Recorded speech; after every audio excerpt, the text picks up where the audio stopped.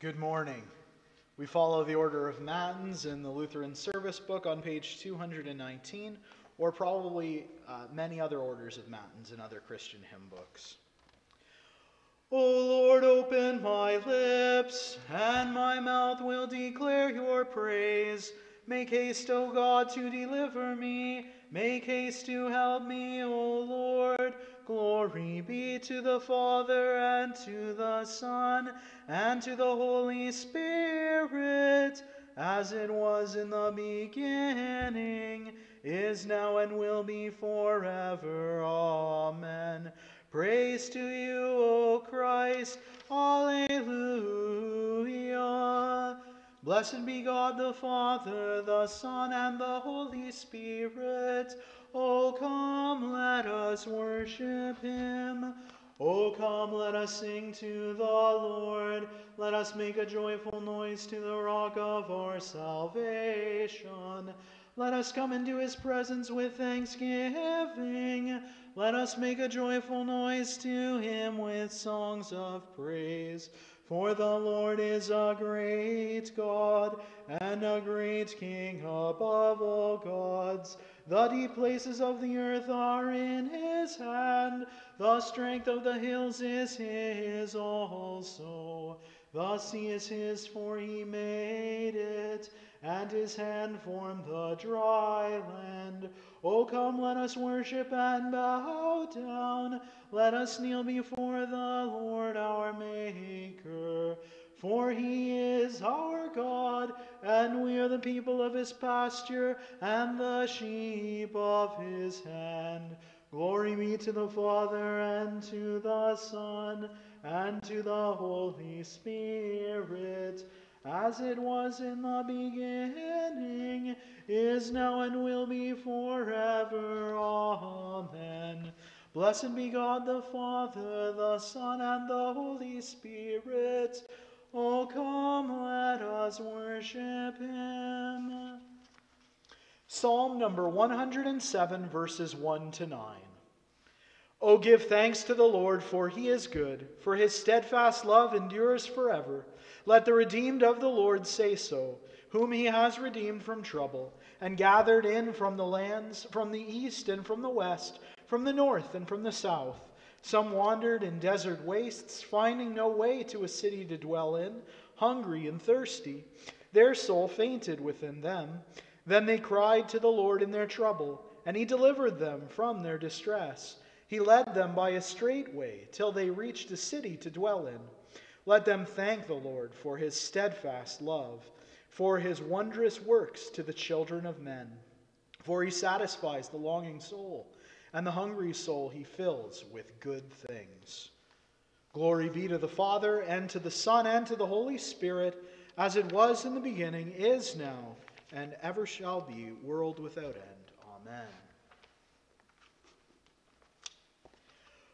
We continue with the old the hymn for the, the office. Our, our office hymn is number 537 in the Lutheran Service Book, and the number in the TLH will also be listed below for you. Beautiful Savior. Beautiful Savior, King of creation, Son of God and Son of man, truly I'd love thee, truly I'd serve thee. Light of my soul, my joy, my crown.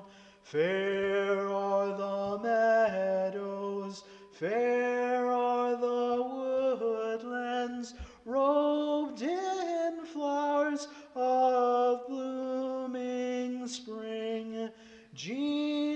Jesus is fairer, Jesus is purer.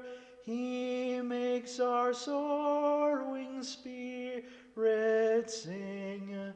Fair is the sunshine, fair is the moonlight, bright the sparkling stars on high.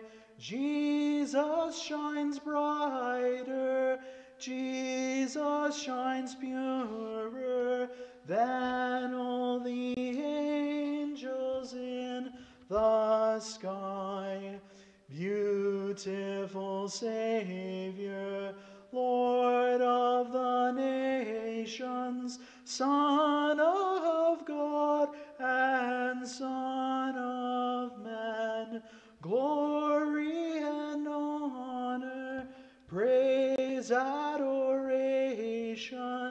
now and forevermore be thine. The Old Testament lesson for the sixth Sunday of Easter comes from Numbers chapter 21. From Mount Hor they set out by the way to the Red Sea to go around the land of Edom. And the people became impatient on the way, and the people spoke against God and against Moses. Why have you brought us up out of Egypt to die in the wilderness? For there is no food and no water, and we loathe this worthless food. Then the Lord sent fiery serpents among the people, and they bit the people, so that many people of Israel died.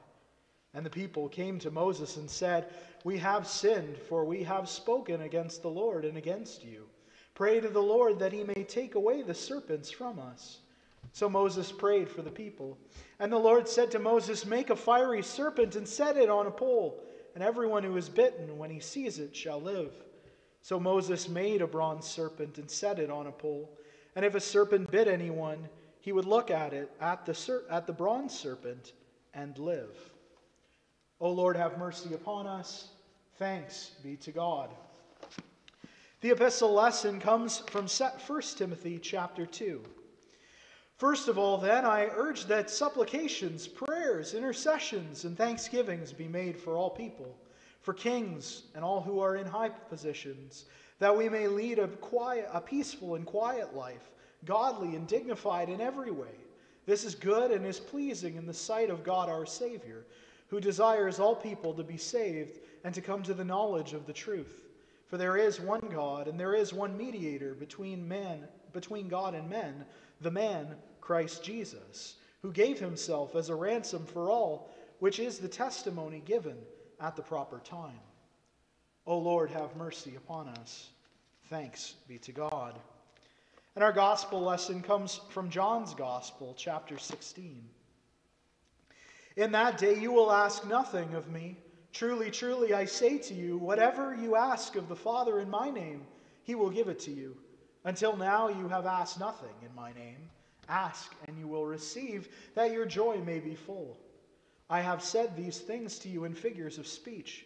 The hour is coming when I will no longer speak to you in figures of speech, but will tell you plainly about the Father.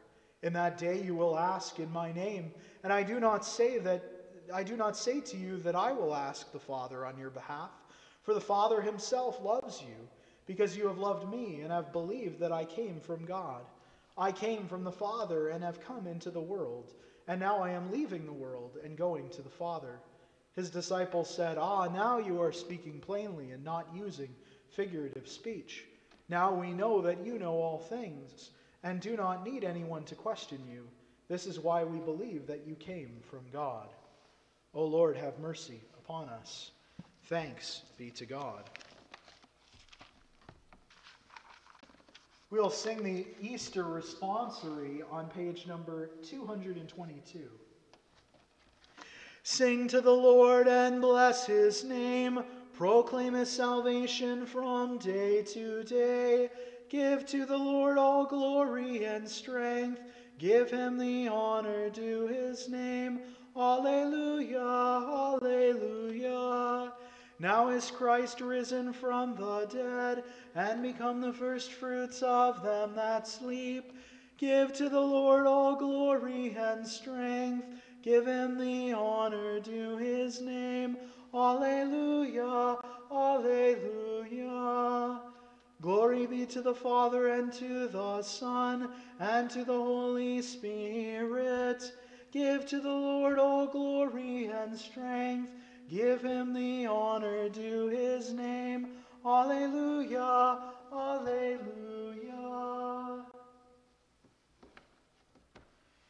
At this time, we'd often collect our offering, and during this time of pandemic and these digital services, you may make your offering by e transfer or by uh, setting up a direct deposit system with our treasurer, and the email address for that is listed below. But now we will continue with our sermon today, and our sermon comes from the book of Numbers and chapter 21. I'll read these words once more for us the words of the people Israel. Why have you brought up, us up out of Egypt to die in the wilderness? For there is no food and no water, and we loathe this worthless food.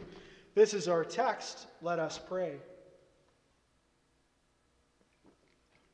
May the words of my mouth and the meditations of all of our hearts be acceptable in your sight, O Lord, our rock and our Redeemer. Amen.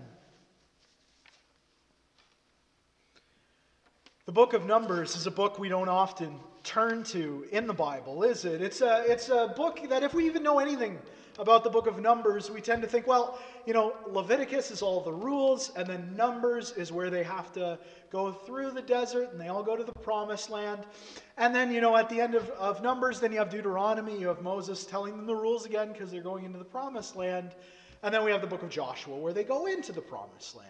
And that's good. If anyone knew that much or had that understanding of the book of Numbers, I'm not going to criticize them. I'm going to, to be actually very quite, quite proud as a pastor. But the book of Numbers is one we don't read a lot in church. And yet it's a book almost tailored for this time. It's a book about people wandering around in this holding pattern, in this desert for a very long time, and they don't know when they're going to get out of it. Now, the book of Numbers that we heard from today was a terrifying story, a story that probably got removed from later editions of the lectionary because people think it's scary or it's barbaric or it's old fashioned, it's tribal. Uh, that these people complain to God and God sends serpents at them. Well, it is true, but we're only getting a little snippet. We're only seeing a little bit of the story of Numbers. And so it's like walking into an argument in the middle of it. And we haven't heard all the things that have gone on before. We don't really get the story, and so it's easy to look down upon God if you don't understand the whole story. So, what is the whole story? Well, let's jump back. If you have your Bibles with you, you can flip to Numbers chapter 13. And let's remember that at this point, God's people had been slaves in Egypt, uh, a slavery that was very bad, right? It wasn't a uh, there, there have been versions of slavery throughout history that have been better and worse, but uh, the slavery they went through was pretty horrific, right? The Pharaoh, he tried to genocide the people. He was killing their children. They were building mud bricks without straw, uh, and they were being whipped and, and beaten almost to the point of death. Uh, it was not a good place that they were in when God rescued them from that. So He delivered them. He delivered them through the Red Sea. We talked about last week how God parted the Red Sea and they walked through on dry ground. This generation, these are the ones who made these complaints that we heard this week. Well, what happens in the story? Well, God leads them into the wilderness, and He's excited. Uh, the relationship between God and His people in the Bible is often spoken of as a husband and a wife. Uh, God is, is the husband, and Israel, the church, is His bride. And so God has this married relationship with his people. And he's like an excited husband who says, Man, I'm excited. I've prepared this house for you. Oh boy, I'm going to carry you through the threshold. I'm going to walk you through that door, through the Red Sea. And I'm going to show you all that I've prepared for you. I'm going to show you all of the, the wonderful things uh, that I have in store for you. And he's prepared it. And so he says, just before that, before you go into the house, before you go into the promised land, I'm going to tell you, you know, go and, and Israel's 12 tribes, remember. So uh, every tribe of Israel, you know, pick one person from your tribe, uh, and then they're going to go out and they're going to be spies into the land. They're going to get a sneak peek. It's like opening a bit of a present uh, before Christmas. You're looking in to see what is in store for you. And so God sends them out on that mission, and he's excited right? And he sends them out on the mission to spy into the land and to see. He says, you know, go in and get the reports of all the good stuff that's waiting there. And so the 12 guys get picked and they go out and they go into the land for 40 days and they come back. And you know what they say? No. No. This land, you think we can get through this land Uh, their report is given in Numbers chapter 13, picking up at verse 27. And they told them, We came to the land to which you sent us. Yeah, it, they say, Yeah, it flows with milk and honey, and this is its fruit. However, the people who dwell in the land are strong, and the cities are fortified and very large. And besides, we saw the descendants of Anak there.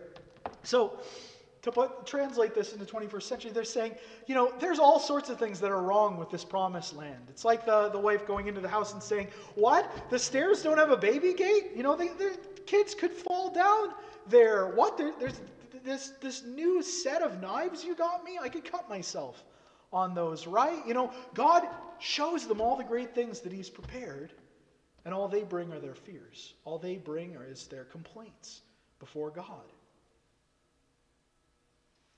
How much has God given us? And how many are our fears? How many are our complaints? And so they're afraid to go. They say, sorry, guys, this promised land thing, not going to happen. God's not big enough, apparently, to, to take care of this. He's not, he's not strong enough to lead us through. You know, he, he might have spread uh, the Red Sea for us so that we could walk through on dry land, but no, they have walls. Uh, we're not going to be able to get through those. Humans are funny in their proclivity to disbelieve, to doubt, and yet here we are all the time, doubting and questioning God's word and his promise. There is one spy amongst them who speaks up in all of this. Caleb, verse 30. Caleb quieted the people before Moses and said, Let us go up at once and occupy it, for we are well able to overcome it, right? Caleb, he is the one person, he represents that remnant of the Bible, the faithful, the people who keep trusting God's promises despite all of their fears, despite all the doubts that they might have. They say, let's go with it. If God says we can do it, then we can do it. Then let's go. What are we waiting for?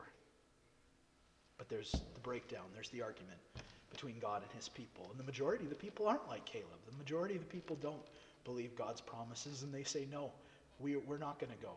And so they're stuck. What are they going to do? What are they going to do? They're in the desert now. They've just escaped Egypt, which would still be happy to enslave them. And they're in the desert, and then there's the promised land ahead of them, and they are too scared uh, to go on. They are too faithless to go on. And so God says, Well, you were in the promised land for 40 days, and I'm going to let you wait in the desert for 40 years. 40 years represents one generation. A generation that walked through the desert, walked through the Red Sea into the desert, they're not going to get to go into the promised land. Not even Moses, who had been a, a faithful leader for the most part. He had his mistakes for sure. Um, and, and he was judged for the, the sins that he committed. Um, however, he wouldn't get to go into the promised land either. That's what makes it so exciting in the Gospels when you see Moses on the Mount of Transfiguration. He finally made it into the promised land after all those years. Uh, it's a, a really neat moment in the Bible. But Moses and the rest of them, they're going to die in the wilderness. They're not going to get to go into the promised land. They didn't want to go. Uh, and so here we are at this awful argument. Here we are in this house. Uh, how many uh, of us have been in that situation in a household before where there's an argument, there's a breakdown, there's something that won't, there's an impasse, uh, and people aren't going to see eye to eye. God and his, his people are, are fighting, as it were, and God's people are saying, no, uh, we won't go. And so that's where we are in the book of Numbers. We're a little bit further than that when we get to this issue.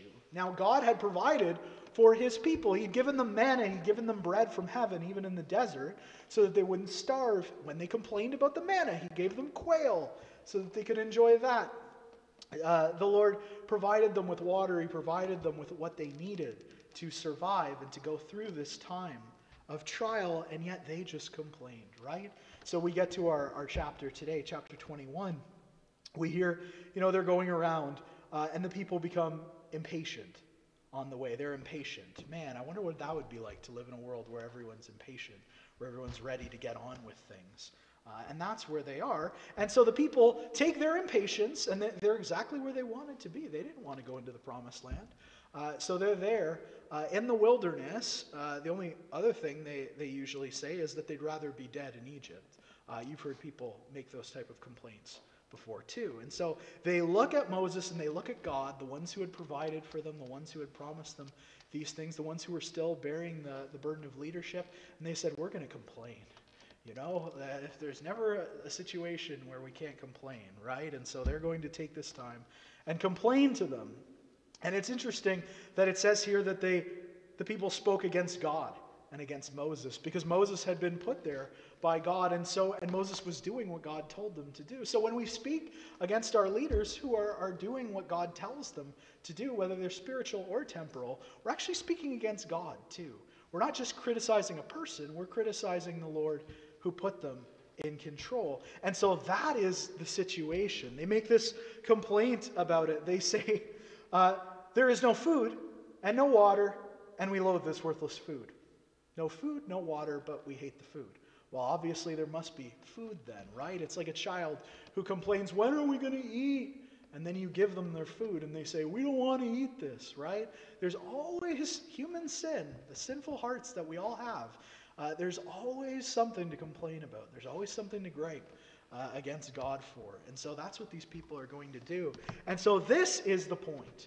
This is where we are when the snakes come in, when God sends the snakes. There's no exegetical backflips that I can do out of that one. It is true that there were snakes that did abound in the region there that were venomous. Uh, fiery is the, the archaic English translation.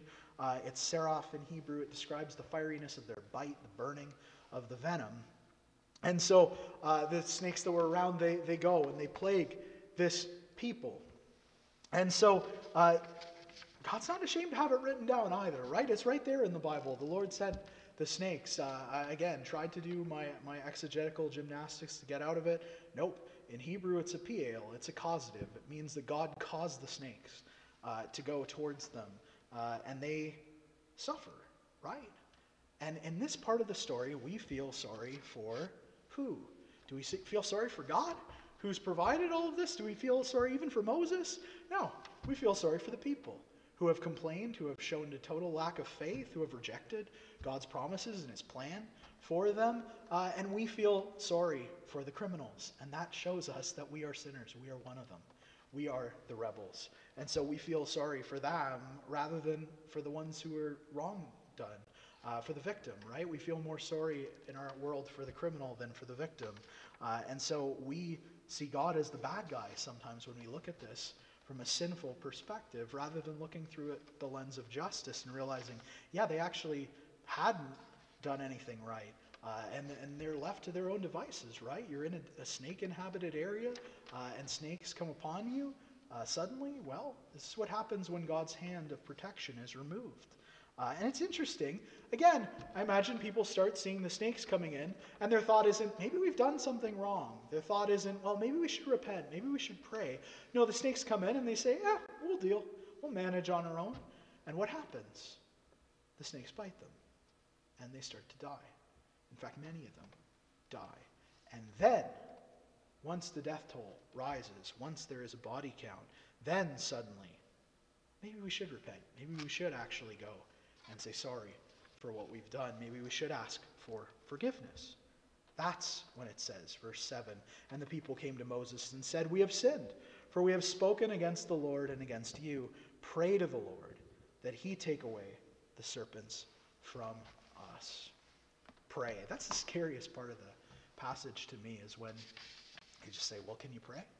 Because God hasn't promised any cure for their predicament, right? They, they've repented and they're, they know that God is a merciful God. It is true. God is slow to anger and abounding in steadfast love, but they don't have any promise that they can, can get rid of snakes, that this can be spared from them. And so they say, you know, okay, we've done what's wrong and we're going to go and we're going to, to repent.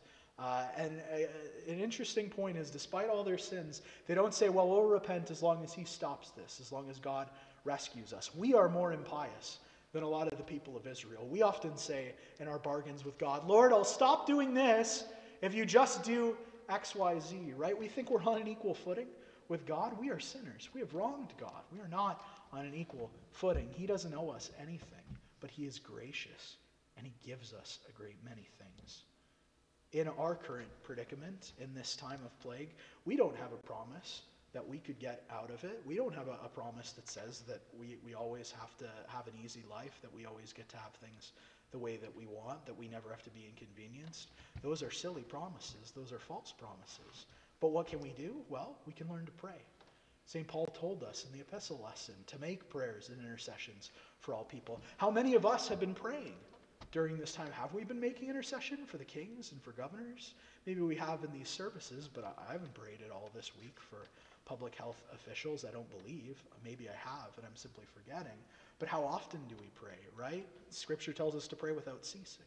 So I think we ought to be praying a little more during this time of crisis. God's people, when they were in a crisis, they prayed. Are we ones who would pray as well? Well, whether we get to go to the promised land, and we already live in, in the promised land, let's, let's be real. Uh, we live amongst the, you know, the, the richest and the happiest, even the poorest among us live amongst the richest and happiest people who've ever been on earth, right? We have more than, than these people could ever dream of in the scripture. Uh, and so we're kind of already in the promised land, and we've kind of been kicked out of the promised land during this time of quarantine. We're kind of on a lockdown away from the promised land. And so whether we, we get out or not, we don't have a, a sure promise. It is very likely that we will. People have always gotten out of these quarantines. But what are we doing during this time of quarantine? Well, we should be praying. We should be turning to God. We should be repenting of what we have done wrong. You see, the people like to complain to God about what He hadn't given them, and yet we're told to repent. Repent means to complain about ourselves, to complain to God about God. Why am I so bad? I've done this and that, and I shouldn't have. You know, I've had a spirit of bitterness. I've had a heart of jealousy. I've been ungrateful for all the things that you've given me. So we need to, to repent. We need to turn to God in prayer. But we do have a promise. We are not left without any promise besides God's general goodness and general niceness. Uh, we are left with the promise of Jesus Christ. Jesus, picking up on this story in Numbers, points to it in John's gospel and says that he is the snake. He's the one lifted up, right? The Lord does give salvation to his people in this situation. He tells Moses to make a fiery serpent and put it on a pole, and everyone who looks to it in faith is saved, right? Uh, that's probably your last inclination in life. You have a snake at your ankles, you have snakes moving around on the ground. Where are you going to be looking? Are you going to be looking down at your feet because you're going to try and outsmart them? You're going to try and be quicker than a snake that can move qu- quicker than humans can blink? Or are you going to be looking at the token of trust? Are you going to be looking at the bronze serpent? Are you going to be looking at Christ? Are you going to be looking at the crucifix during tough times? Are you going to be trusting in the Lord? who delivers from trouble. That was their test in the desert. Could we look at the bronze serpent even when we are suffering from this bite? Can we look away from our problems and look to the God who delivers us from our problems? So Jesus says he is the bronze serpent. He is the one who is lifted up upon the cross with his arms outstretched, dying for your sins and for my sins, for all of us, so that we could have a sure promise so that we could know that our sins are forgiven, that our place in heaven is guaranteed, that we will be forgiven, that we will be saved.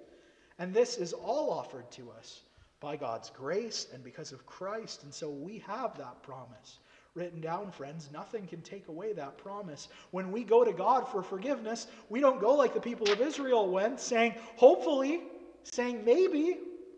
No, we go with certainty. We know that the Lord has forgiven us because of Jesus Christ. You have a yes in Jesus Christ to the plague of sin, death, and hell. You will be spared those things because you trust in Jesus.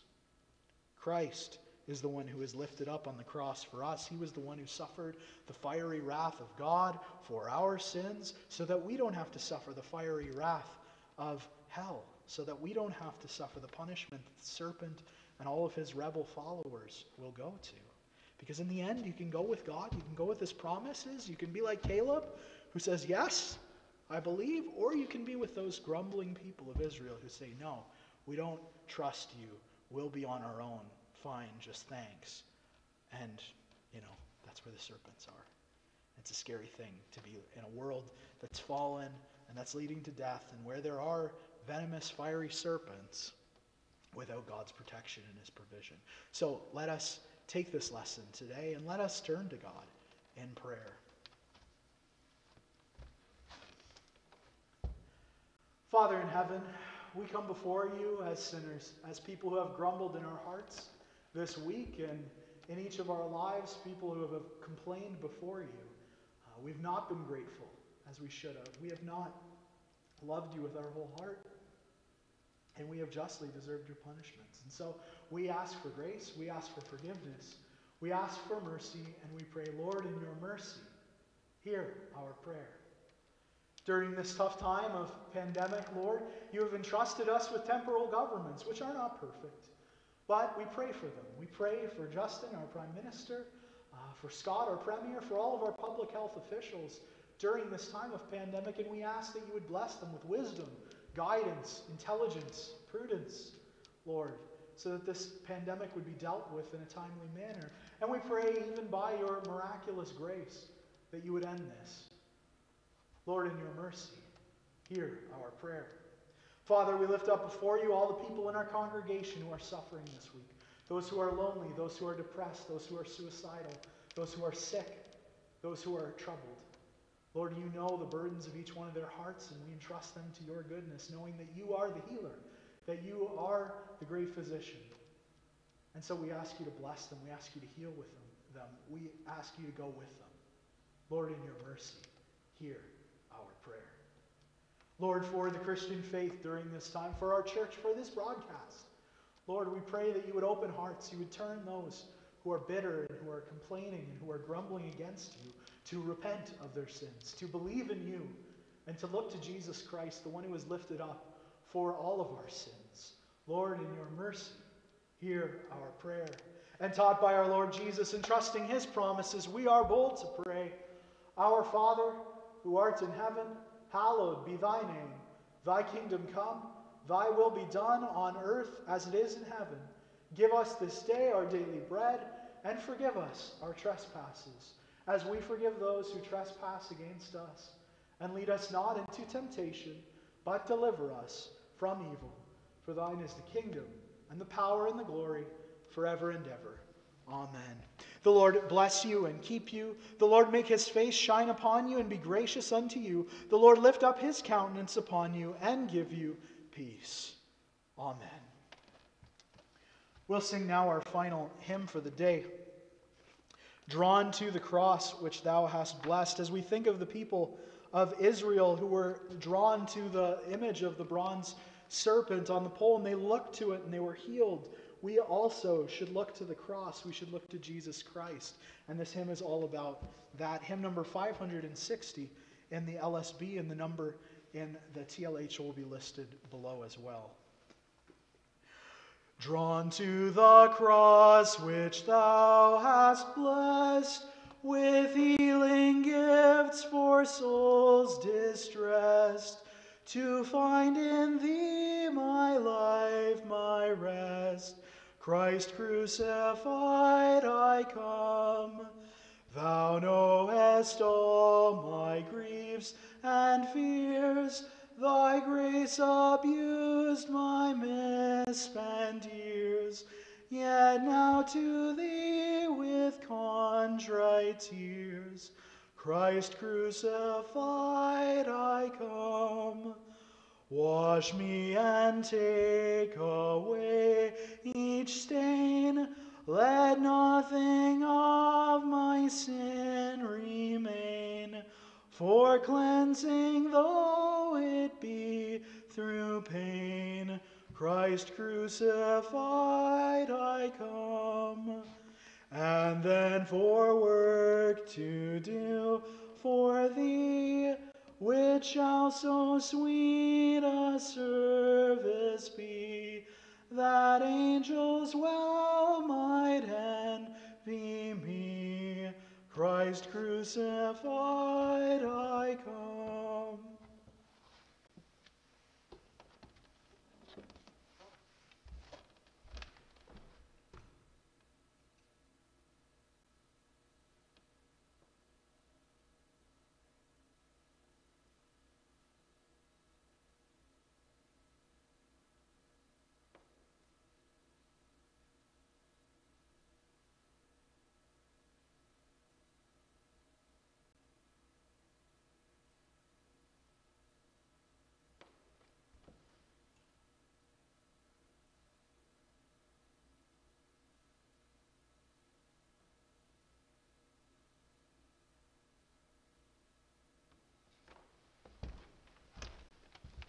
God bless you.